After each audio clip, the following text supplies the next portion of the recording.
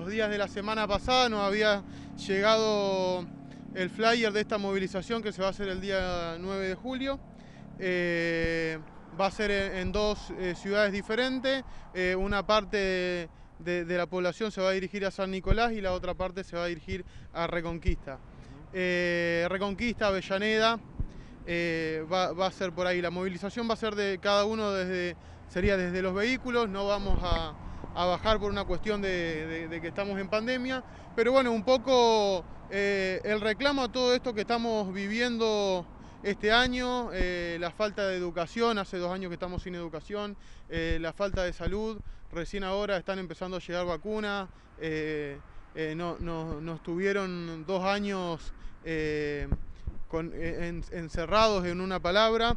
Y, también las medidas que el gobierno ha tomado en cuanto a producción, en cuanto al cierre de la exportación, allá por principio de año tuvimos problemas con con las exportaciones de maíz y hoy el, gran problema que, tenemos con, el cierre de exportación de carne.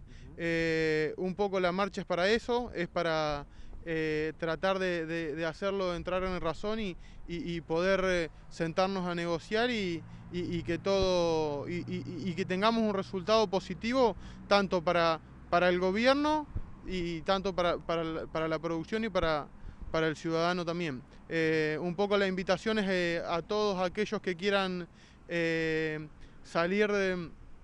eh, a la marcha. Nosotros vamos a estar, estamos convocando para la de Avellaneda, estamos organizando varios vehículos, así que que se comuniquen a la Sociedad Rural de San Justo.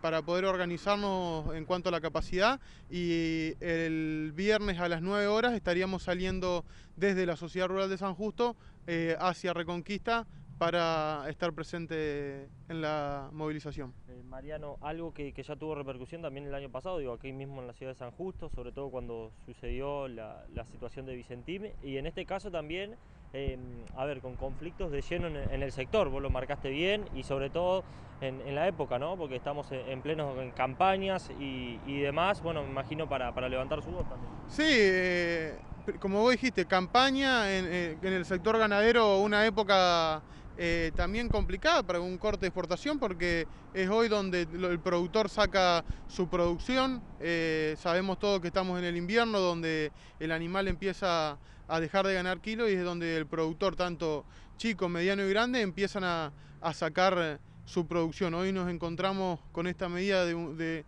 que estamos con exportaciones cerradas para eh, mantener un precio en góndola eh, estable o, bajarlo. De hecho, nada de eso pasó.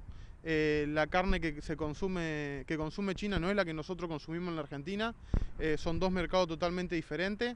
entonces, un poco la idea es revertir esta medida que tanto nos afecta a los, argentinos y, de esta forma, bueno, movilizarnos para, para poder concretar y poder seguir adelante en una negociación con, con el gobierno.